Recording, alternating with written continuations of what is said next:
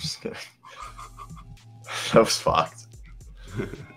So guess what's guess who's coming back who looks really good and is hopeful to play in the summer league. We'll talk about some summer league rosters in a second, but Chet Holmgren has recovered from the Lisfranc injury, and according to Sam Presti, looks good.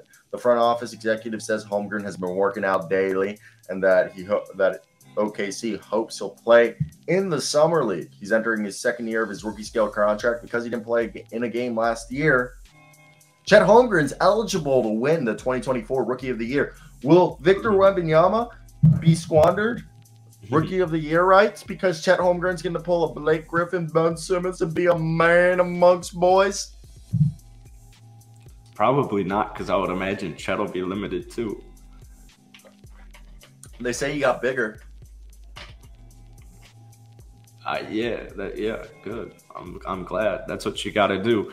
Uh, we've talked about how Chet, I, yeah, I, I'm not worried that he didn't play his rookie season. OKC is in such a good spot, especially. But um, I think Travis Etienne hurt his Liz Lisfranc his rookie year, and then obviously didn't play and came back last year and won rookie of the year um, for the Jaguar. Did he win rookie of the year? Maybe he didn't win rookie of the year, but uh, Travis Uh, Etienne. You did not win Rookie of the Year because the NFL doesn't work like that. They tell you go fuck yourself. But yeah, anyways, he had a great rookie season, and um, I I don't know if Chet. I, I'm gonna imagine neither win rookie of the year. Uh, I Wow. don't know how much Chet's gonna play. I don't think Vic's gonna play enough games to win rookie of the year. Don't you need to play? Didn't they just change that? Or is that not a What? thing yet? No, that's not a thing. You just, I I think you just have to play 60 games. I don't think he plays 60 games. Um, maybe he'll be at 60 games. I think 60 is probably fine. So Chet came in at 195 pounds. You want to hear what Chet Holmgren's listed at now? um, I'm gonna go 210, So maybe 215. NBA website, they still got him at 195. Okay, nothing insane. Let's see. NBA.com still 195. I want to see if they've. Well, you don't. You have no belief. No, I know he gained weight. Okay, so this is Wikipedia. They don't have citation. He's at 209 on Wikipedia. Ooh, Rock Chris is saying 212. Um, yeah, Basketball Reference still has him at 195 pounds. Let me see if I can go to the Thunder website.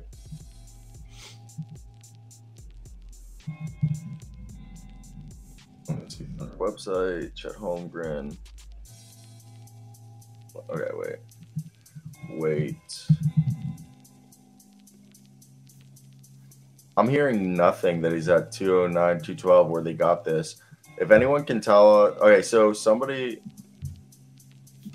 I see that.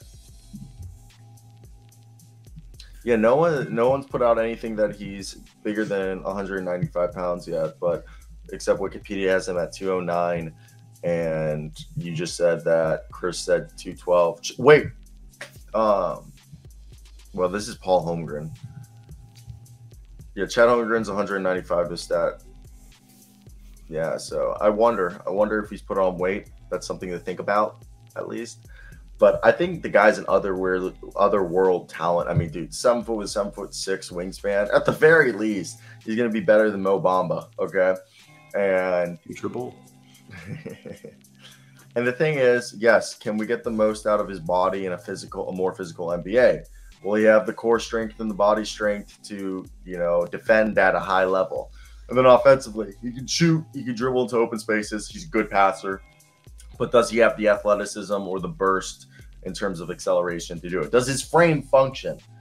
I personally think if he's at 210, that's 15 pounds. I really think he was only 20 pounds away from being what needed to be done, like to be a successful NBA player. Like I see him, there's two ways for Chet to be great.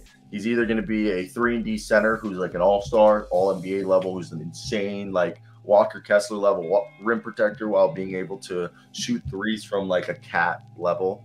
You know, just forty percent. That's like if everything works out. But if he just be's this like like really good rim protect, kind of like a Brook Lopez, but more you know, like slender and stuff. What Brook Lopez is now, I could either see him being a guy who might thrive more as a four next to like an old school five, where you just tell Chet always to stay on the perimeter. but I think the the idea is that he can be one of the best defenders in the NBA while also spacing the floor, and that's why I think he's exciting. I mean, that's the same thing with fucking Victor Wembanyama. Victor Wembanyama is just better. Yeah, well, if uh, if Chet's weighing two twelve, Evan Mobley weighed weighed in at two fifteen last year, so. And Evan I get Evan Mobley's way skinnier, way skinnier than you think. But it, it's perfect what you're saying with pairing him up with with Jarrett Allen. Yeah, exactly. That's what I'm saying. If like if we see after Chet's first season, you're like, okay, maybe he's more of an Evan Mobley than he is of a Victor Wembanyama or like Rudy Gobert frame, you know, that he fills in. Then you're oh, like, okay, yeah. Yeah. That so then you go into what you're saying right there, where you're like, okay, yeah, like you're more of an Evan Mobley dude, and you let's go out and get ourselves a, a Jarrett Allen esque center. Let's go get Clint Capela you know, and throw you next to Clint Capela Does that make sense? Because you just tell Clint stay inside, grab the rebounds, Chet. You just stay on the perimeter. And like I'm confident enough if because I think Chet, like you just said, Evan Mobley goes out onto the perimeter. That's why Evan Mobley works on defense is that he doesn't clog up the, the lane with Jarrett Allen. But I agree with Aaron. I don't know 230. I think I'm thinking 220. I want him to be at 220. I feel comfortable if he is at least 220. Yeah, that'll probably be that'll unless he clocks in at 220 this summer. Yeah, that'll probably be more of a next year thing. I'm just scared if he gets too heavy for a guy who's already not a super athletic dude. Will that take away some of the burst that he had? And you know, there we see with Zion, too much weight can be a bad thing. You know, they're back in the day, there was like, you could never have too much weight. But we're seeing that yes, too much weight like is a bad thing. It can cause injuries, and you know, put him being a bigger dude could put some pressure on his, you know, joints. Yeah. What up, TP? Yeah, I like 215 for for Chet this year.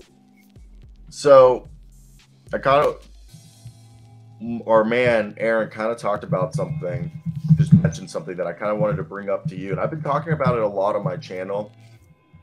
Personally, I bring it up a lot when we're we're talking about the Atlanta Hawks, and I'm trying to see if I there's like I don't think they've ever shared the floor together, but I want to see if I can find a picture of these two guys together.